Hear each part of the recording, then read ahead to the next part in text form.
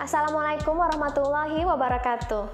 Halo teman-teman semua, ketemu lagi dengan saya Dr. Sun di sini. Hari ini saya akan membahas bagaimana cara kita merawat kulit wajah kita agar terlihat sehat, bersih, dan bebas jerawat. Jerawat bisa menimbulkan rasa tidak percaya diri untuk semua orang, walaupun itu pria atau wanita. Sebelum kita membahas apa skincare yang akan kita gunakan atau bahan apa yang kita gunakan untuk merawat wajah kita setiap hari, sebaiknya kita harus tahu apa yang menyebabkan jerawat. Jerawat bisa disebabkan oleh beberapa hal. Yang pertama karena stres. Stres dapat memicu hormon kortisol. Hormon kortisol ini tadi dapat memicu produksi minyak berlebihan pada wajah dengan merangsang kelenjar sebaseus. Minyak berlebihan pada wajah ini tadi dapat menyumbat pori-pori wajah kita dan bakteri bisa terjebak di dalam pori-pori itu dan menyebabkan jerawat. Yang kedua karena tidak higienis atau tidak bersih. Perawatan apa pun yang akan kita gunakan kalau kita tidak higienis atau rajin membersihkan wajah itu nggak ada gunanya. Cara membersihkan wajah kita yang benar adalah yang pertama dengan cuci muka minimal dua kali sehari, yaitu pada saat bangun tidur dan juga sebelum tidur. Ditambah dengan pada saat kita baru pulang dari luar ruangan. Karena saat di luar ruangan wajah kita sudah terpapar debu, sehingga harus kita cuci bersih. Gunakan sabun wajah yang biasa kita pakai, minimal 20 detik karena pada wajah yang berminyak ataupun setelah kita membersihkan wajah dengan susu pembersih ataupun cairan pembersih yang mengandung minyak itu wajah kita itu lebih lengket. Jadi kalau kita cuci dengan sabun sebentar aja itu nggak bersih. Jadi minimal 20 detik. Kalau setelah kita bilas air bersih dia masih terasa berminyak cuci lagi dengan menggunakan sabunnya karena di sini sering terjadi kesalahan. Kita membersihkan wajah, kita mencuci wajah kita, tapi nggak bersih.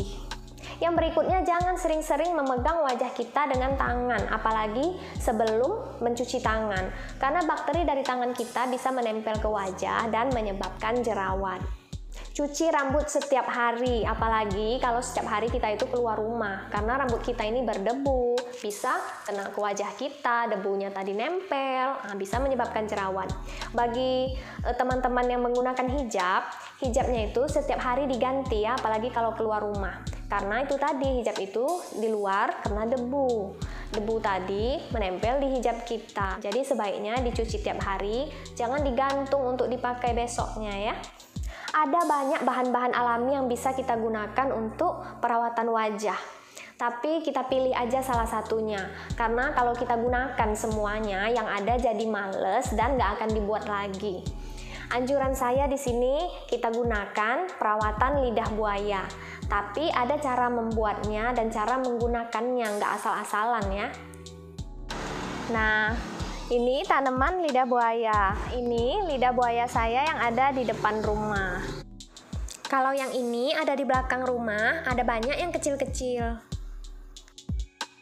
Nah, kalau kita mau ngambil lidah buaya ini, ambil yang dari tua-tua yang di bawah. Kayak ini, ini kan udah patah, ini kita ambil. Yang ini, karena dari sini ke sini masih seger lidah buayanya. Ini nanti buang. Oke, kita potong dulu ya.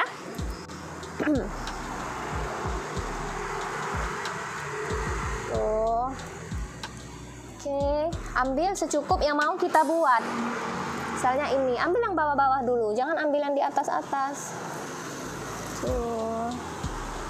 Nah, yang pertama, kita buangin dulu duri-durinya. Karena mau kita cuci pakai sabun. Kalau nggak dibuang dulu, nanti pada saat kita menggosoknya, tangan kita luka kena durinya ini. Ini harus kita cuci pakai sabun, karena ini jorok dari luar.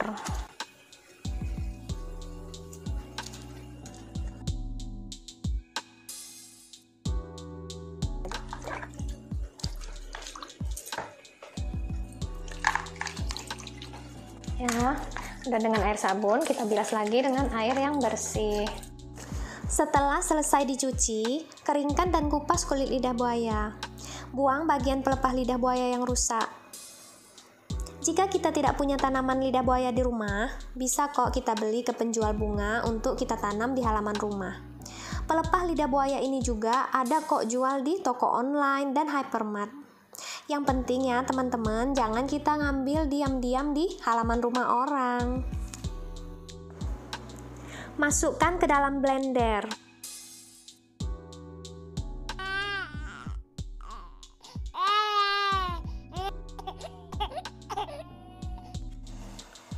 Lalu blender sampai halus.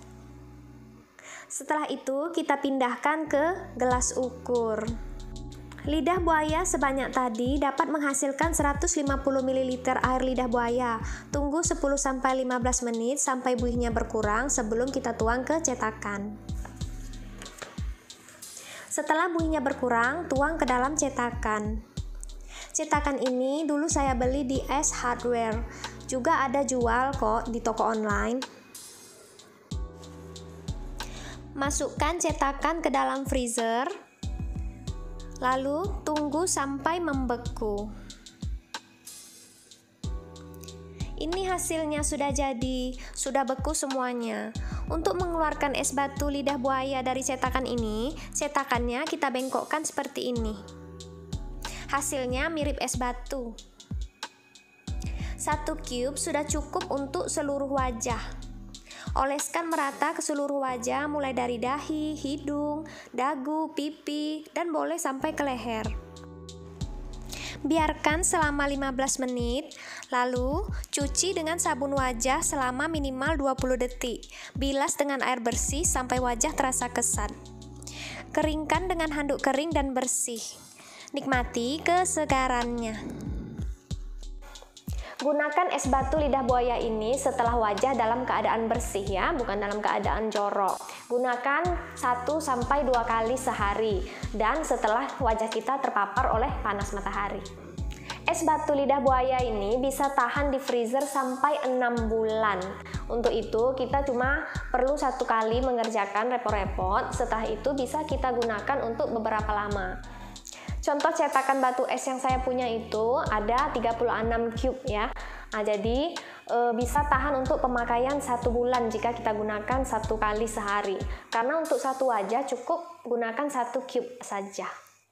Manfaat es batu pada wajah bisa mengecilkan pori-pori wajah, bisa mengurangi produksi minyak pada wajah, bisa membantu mengurangi radang pada jerawat, dan juga bisa membantu penyembuhan kulit dari sengatan matahari.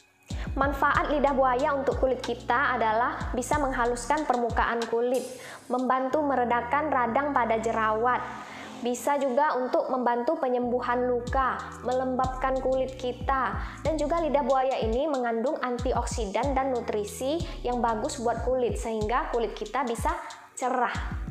Jadi, bagi yang tidak punya masalah jerawat pada wajah, juga bagus menggunakan lidah buaya ini karena dapat mencerahkan warna kulit wajah.